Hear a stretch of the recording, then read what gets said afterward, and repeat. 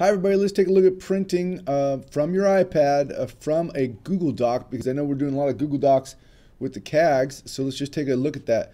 The reason I bring it up is because when we Google Cloud Print, we can only Google Cloud Print from Chrome browser.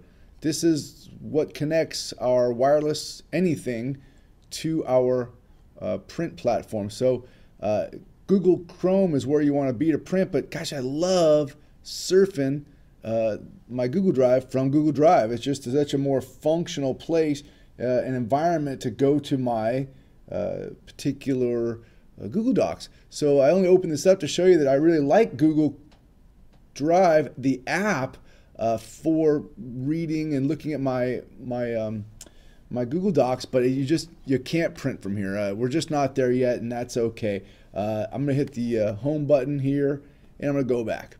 Uh, if I open up Google Chrome, you know that just like on your desktop, you can go up to the URL bar and you can type in drive.google.com and hit go.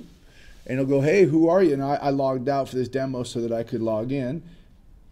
Because once you log in, uh, you, typically it just stays logged in, or you can see up at the top that it asks if you want to stay logged in. And I, I always stay logged in.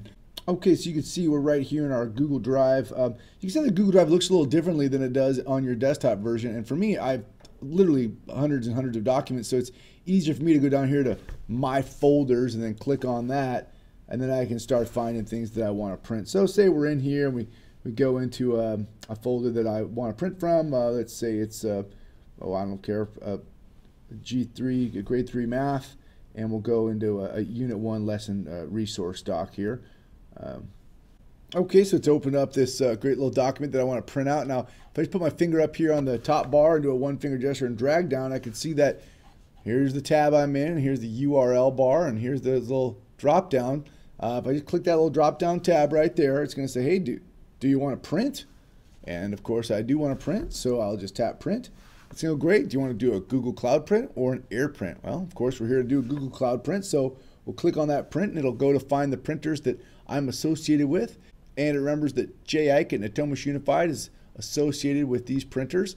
Uh, and I'm going to hit Classroom 301. That's my classroom. My printer's across the room from me, not plugged into this iPad, of course, but plugged into a computer that's on the internet. And uh, through that computer, I'll just go ahead and print. So if I hit the print button here, it should print out across the room uh, for me. Okay, so that's all printed out. I hope that helps. Um, let me know if you have any questions.